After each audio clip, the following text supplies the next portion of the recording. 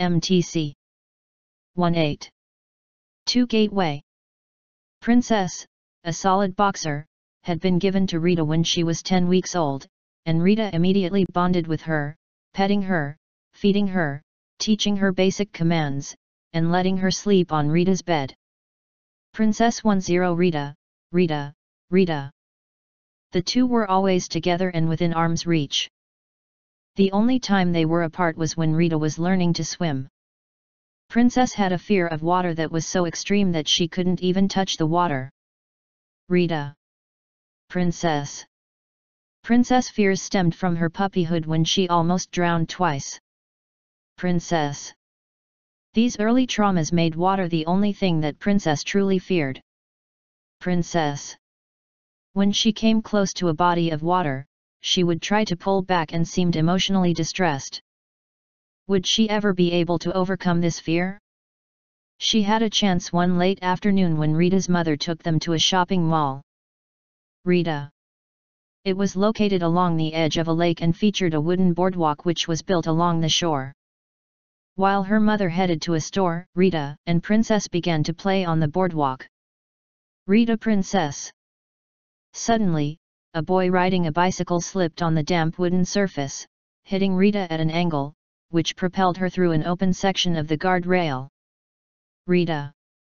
She let out a scream of pain and fear as she fell into the water. She then continued to cry for help and struggle to get out.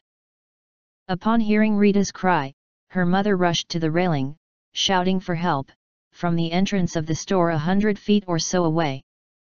Rita. Princess was looking at the water and trembling in fear.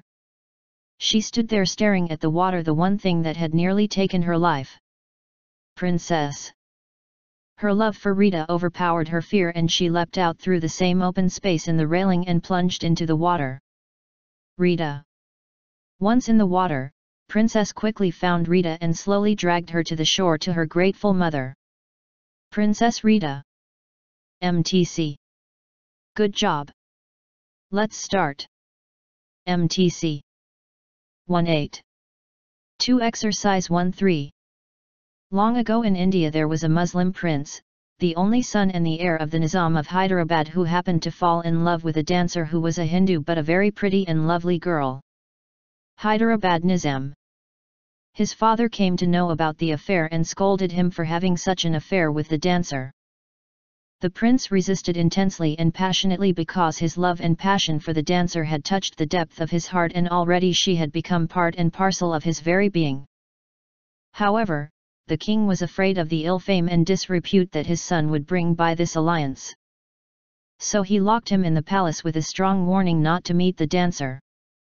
One stormy, rainy night, the prince, who could not resist his passion, escaped from the house prison of his father and climbed on his horse and set out passionately towards his sweetheart's village.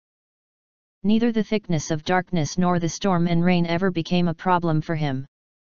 His passion for his sweetheart made him forget everything. Finally he reached her hut and she was astonished to find him at that hour of the night. Then she asked him, Dear, how could you manage to come all the way on this dark stormy rainy night? The prince replied, Sweetheart, I had the flame of your love in my heart. Dot. The king came to know about this incident. Knowing the passion and love of his son for the dancer, he happily agreed to the marriage. MTC. Good job. Let's start. MTC 1-8. 2 Exercise 4-6 Cohen was sitting in a small shul one Friday night waiting for prayer to begin. Cohen. As he looked up from his prayer book, he noticed an elderly man walking around the shul, offering each person a small piece of chocolate from his little box. Cohen watched as most people politely refused. Only rarely did anyone take it from this man's box. Cohen. Cohen could tell that it gave the man great pleasure when anyone accepted his offer. Cohen. When the man approached him, Cohen said politely, no, thank you, and watched as the man walked further down his row. Cohen. Dot. Standing there was Rav Yaakov Friedman, whom Cohen respected greatly and whom Cohen watched carefully to see what he would do. Rav Yaakov Friedman, Cohen. Cohen.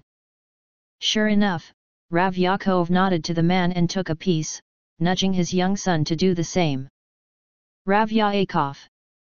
As the old man continued walking to the next row, Rav Yaakov's son began putting the chocolate into his mouth. Rav Yaakov. Rav Yaakov gently touched his son's arm and told him he could put it into a tissue. Rav Yaakov. At the same time, Rav Yaakov also put his own in a tissue. Rav Yaakov. Daddy, asked the young boy, you urged me to take the chocolate, and you took it yourself. Why are we throwing it away now?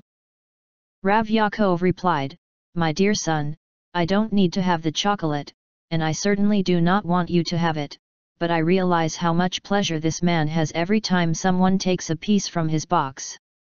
Rav Yaakov.